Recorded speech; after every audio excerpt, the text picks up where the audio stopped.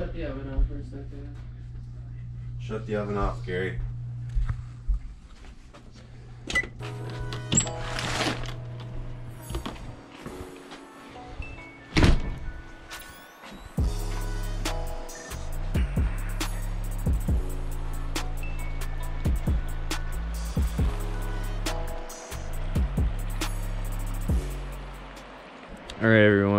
Welcome back. We are on Vancouver Island doing a steelhead trip. So it's kind of mid-December. We're probably a little bit early, but we're gonna try our best. We're on the Cowichan River, staying in a cabin right on the river, which is pretty sweet. I'm looking at about 50 coho sitting in this river right now, but unfortunately it's fly fishing only in this section of the river, so we can't toss any jigs in at them. We're going on a raft, doing a guided trip, floating down, starting just down here. And then the next day, we're just going in on foot and trying to see if we can maybe get into some coho down river a bit more where you're allowed to use gear. And then um, after that, we're heading out to Port Alberni, fish the Stamp River, and there we'll probably have a better chance at getting into a steelhead. I filmed the footage for from the float yesterday, so it's the day of the walk-in fishing. We're just about ready to eat breakfast and get ready to go. And yeah, so stay tuned. Get some good footage of something today. All right. Yeah, exactly. If I'm flowing with it, like obviously if I want to slow us down, I'll back row, and then that's when you might have to recast it. But if we're just cruising,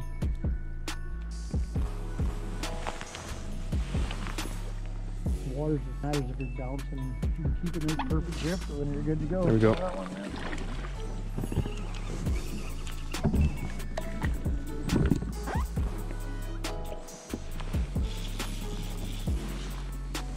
so cool how they have like the the cutty or yeah, and like the the white tips on their fins like that. That's what the dollies have in the Shuswap. Oh, Torky will hook it in. holy! He took a good run there. no shit. he was a little rambunctious there for a second. He's got heart. He's got. Yeah, let's get some good looks on him in here. Yeah, the white tips are sweet. Nice. And I'm supposed to uh, count. That's why the Cowichan said this, it is a special place for us. Like it is all catch and release. These are all native fish. There is no hatchery systems. Hatchery for the salmon, but they don't hatchery fin clip. It's like the natives do the hatchery thing. Yeah. This water's so clear, these fish have a chance to look at everything you're doing. This is a cool spot in here. Is that a big trout sitting right there? Yeah, right behind Oh, there's right one. there. Right there, yeah. Come on, grab my thing. I floated right by him. Yeah, both sides of that, so on the side will come up, up, up, up, up. You probably want to have your leader. Oh, leader. I got him. Yeah, you did get him. That was a little jet. Yeah. I saw him take that too. I thought it was a salmon at first. Oh, yeah. Oh yeah, they see everything here, right? I tricked this one. Yeah, good presentation. He obviously had a perfect little drip. This water is so clear. That's better fish. Heavier, heavier than that. Yeah, a bit fatter. Yeah. Lamprey eel marks. From the eels trying to get him? Yeah, there's like lampreys. So that's what like those are like eels. Oh yeah. Crazy. Cool, nice little fish. Yeah, they do look like they're starting to spawn, hey? Yeah. So hard to keep it at that depth. following you. There he is. Got him. oh, you man. Yeah, I felt, I saw the rod tip. Oh, I thought they were really nice. I thought they were really big rainbow trout, which they do get that big. That looks like a rainbow. Where is he? Fucking right behind you. It's a big fish. It's like one of those 20 fucking. Oh, he's off. So hard to read the bottom, eh? Or where you Yeah, where you are. You kind of got to do it by feel. Like that's why I fish that really heavy tungsten. But it Yeah. all depends on the type of gravel. Like if you got big boulders, you can feel it ticking. Yeah. If it's just the sandy bottom, you don't really notice. Yeah, it's hard to like feel the ticks and Yeah. then know the difference from when they bite it because it's so subtle. Yeah. The hookup ratio is fantastic. Yeah. there we go. There you go. Nice fish too. They go right down and rub though. See how they're Yeah, yeah. nose so it pops that hook out. Yeah, sometimes. he's trying to get it out. Rubbing it, eh? Yeah. Interesting. You don't get to see that normally because it's Yeah, because you can't see the fish. Yeah. It's so cloudy Yeah. too sometimes. nice job, bro. He looks like he's got those scratches on him too. Oh, hey.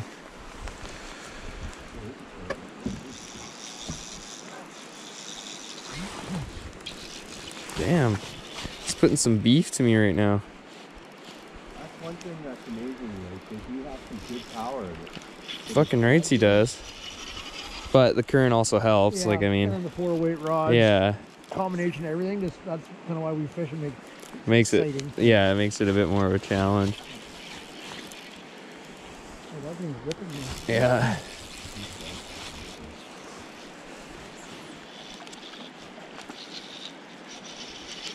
Jeez. He's not giving up, that's for sure. Very short.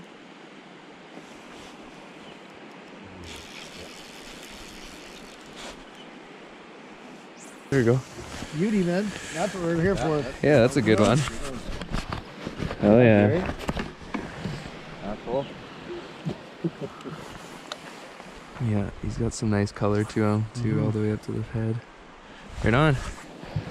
Cool. It's probably like a what pound and a half, two? It's Like I said, I could have measured them. Like I don't go by pounds. I don't know. I don't never weigh them.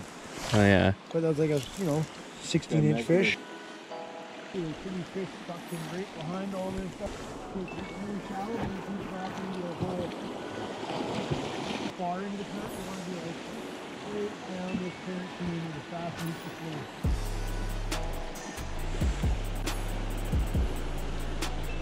And it's not super deep right away, right? But it's it's anchor?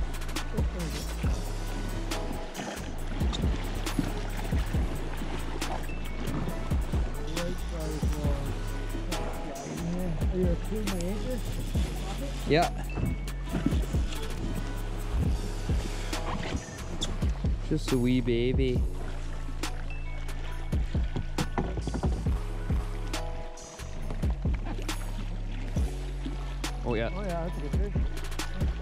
Oh. Yeah. Yeah, we got him that time. Faster water, wherever the faster water is, we seem to be. Oh, he's off. Oh, Took a big run and slammed into the ground, I think. like it's like, We're not far at all. like I, at some point I'm gonna have to like cover some ground. I know these spots are like where they're good fishing, Yeah. but I can burn the day up top. Like it's uh, Yeah, same. this is fun. We need to get a float boat, Dad. For the Adams. We'll probably end up fucking killing ourselves trying to do that. something like this by is about a halfway point. There's a, it's called the 70.2 trestle. Once we get below that trestle, we can run gear as well. But it's just this top section of the river. That's because all the trout and all that stuff. It's, that's why they've got it fly fishing on. There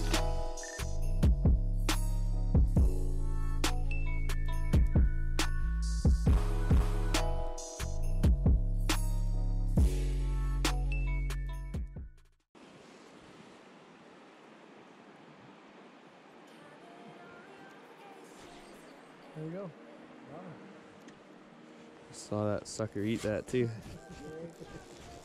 Fun when you can watch them eat it. Yeah. Oh, that's awesome. Alex. It's cool that you can watch them eat it like that though. Like if you're standing in the river, Oh. you'd never see it. It'd be hard Yeah. to detect the strikes too, right? Yeah. So aren't you glad to meet me? I think you should. I'll be glad to meet me. If I were you, aren't you glad to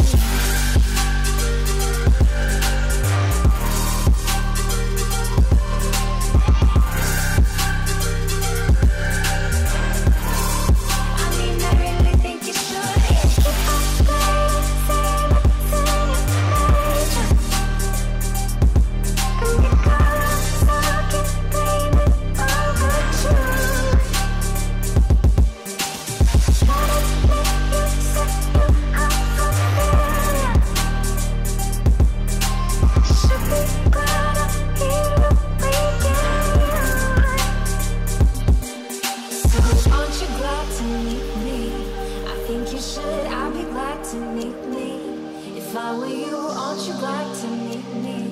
I think you should. I make a real good song out of you. Time to ticking slow. Yes, to overdue. Aren't you glad to meet me?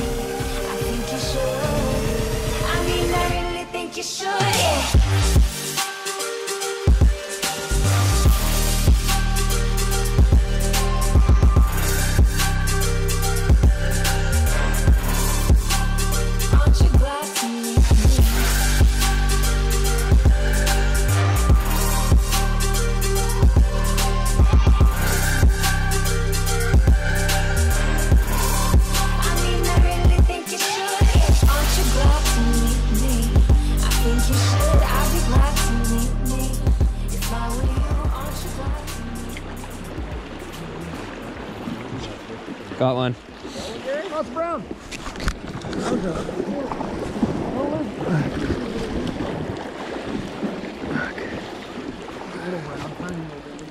Hey, first brown. Woo! Yeah, so there's these fall, but like they get like blues and reds and yellows and Yeah. Got such cool colors to them. The reds in them look sweet too. yeah. Nice work. Cool.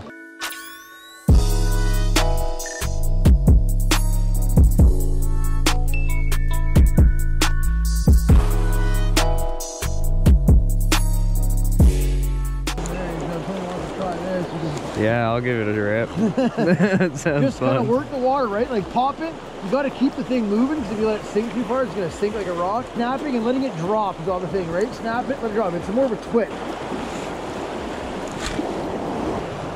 I normally go through a run. I'll have like five or six good casts and you cover that water, change the color and fucking three Right times away. and move on. Yeah, sometimes. Let it fall. Yeah, it's all about that fall. Yeah, fire truck. Got him. Oh! Oh! Let's go! No way! That was so sick. First twitching fish. Oh, he's freaking out. That's a good fish. Oh, he hammered it. It was just like next thing you know, you're jigging, jigging, and then it's just like it stops. Oh, I think I, I don't know if I snagged him or not. You might, sometimes you do, but nine out of ten times you get them in the mouth. Like, they bite the jig. It's not like Oh. it's fucking, you might have snagged out. There's probably so many in there Yeah, that we just can't even see, you know? such nice colors, eh? The black under the lip. It's fucking really cool looking. Sweet. Oh, it's a big one. Good size, man. Yeah, that's a nice color for sure. yeah. Sweet.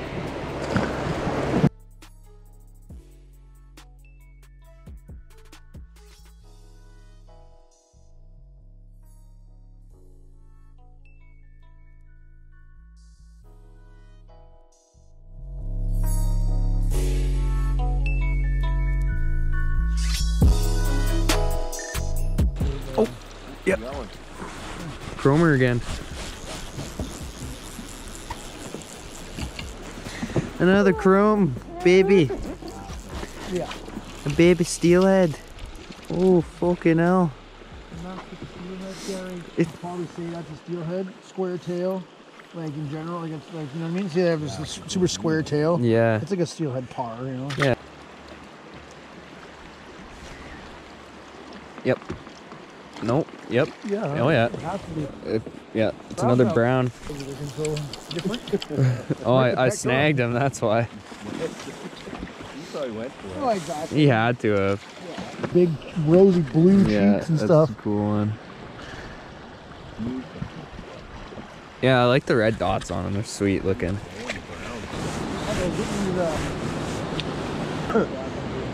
Beggars can't be choosers. Thank you. That's awesome. Just fucking twitch them through there. Just watch where you're casting them on as they go right into the stone. Try to hit the far bank every time. Yeah, So I'm sure. that's sure. how you get least the Fucking wing stumps, right? Because that, the yeah. wood's always right on the shore.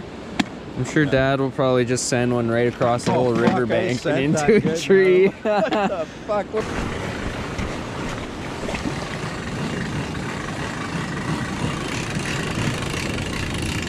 there, and then just hook that one to the D-ring on the trailer. Okay. Yeah. There you go. Got all your stuff. Yeah. All right. Let's do this.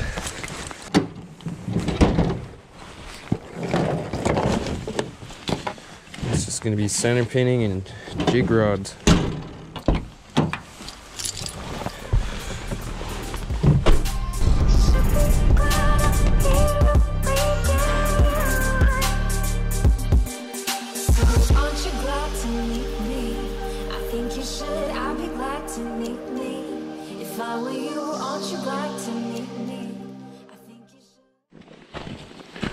Should. All right, so we're at what we think might be the first hole. Oh.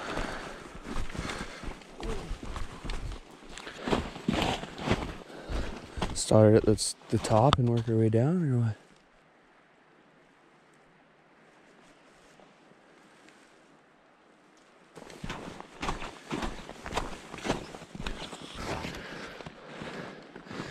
Full on rainforest in here. What a cool spot. It's not very deep. So, if you guys watched the last video, this is the same setup. Start off nice and shallow, I guess. See where we can find bottom. And hit bottom there. Let's try one on the inside seam. Maybe a bit deeper.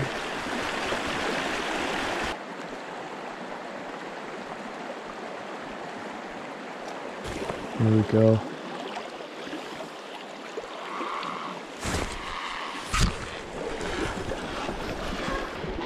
Look at that thing. It's like a, a pterodactyl. I had a bobber down over there too.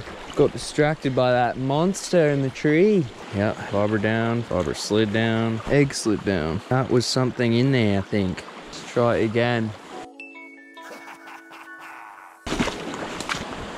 This isn't fishable. Look at down there though. This white water turns into a hole down there. Yeah, I don't know if that's even accessible with a float. So nice and warm out today too. Like, doesn't even feel like winter. It feels like fall. Where the is a good hole? Need to find good hole for jigging. Yes, for jigging. Twitch, twitch, boom. Coho in my room. Oh, no grizzlies on the island, so that's good. No worries.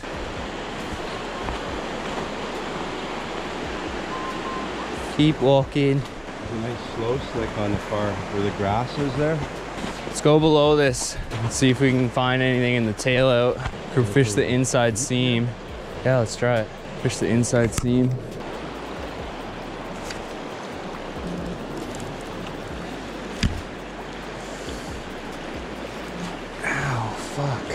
Fuck. Ah, broke off.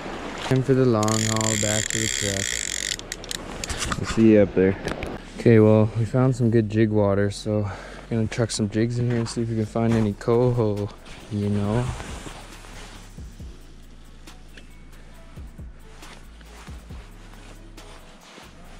how deep it really is here.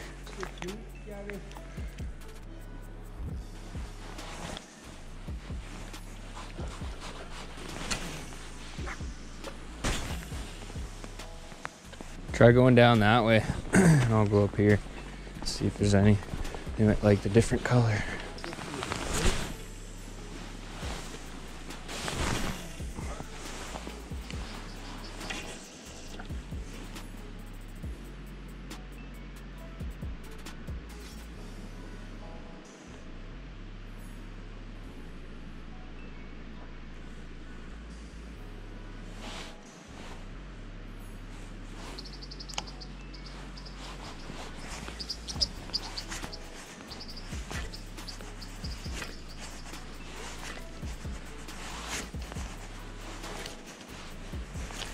Oh, yep.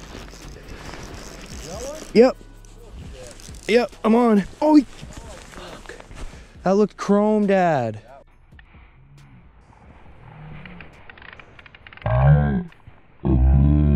Let that sink right down to the bottom too. He was right here on this fucking wall. Fuck.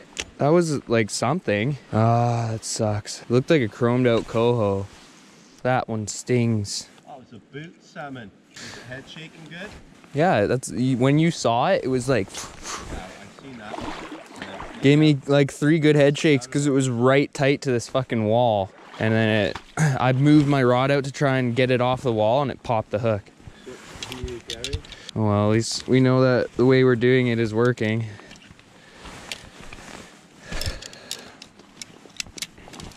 Always a chance for a cool hole.